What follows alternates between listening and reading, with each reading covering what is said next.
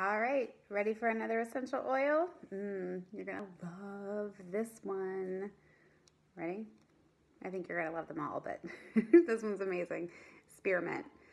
Oh my goodness. If you love spearmint gum, mm, you are gonna love spearmint oil. It is, oh my gosh, it's amazing.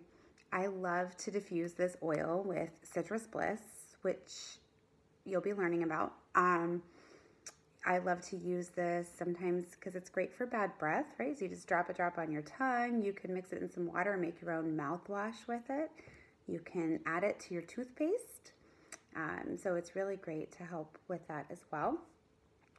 Some people like to use it. It does have a cooling effect to it, kind of like peppermint does, right? If you think about mint, very cooling sensation.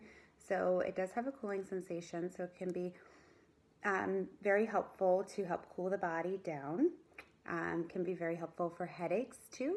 So if you maybe didn't have some peppermint on hand, but you had spearmint, you could try that.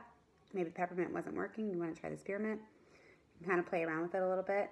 Um, can be very helpful with indigestion and nausea as well.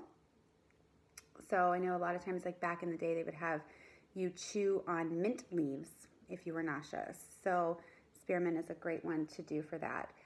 Focus right? You hear a lot about focusing and concentration. So, because it does really help waken up your senses and um, kind of get you a little bit more alert, it does help with focus um, in that. And it takes you from a very weary sensation to feeling refreshed.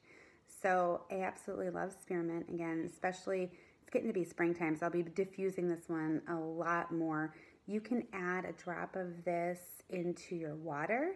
Um, I will sometimes add this. Um, sometimes when I'm making pitchers of water, I'll add maybe cucumber lemon and a drop or two of spearmint um, into that um, kind of alternate and play around with it. So yeah, absolutely spearmint, an amazing oil. So get on and vote for it today.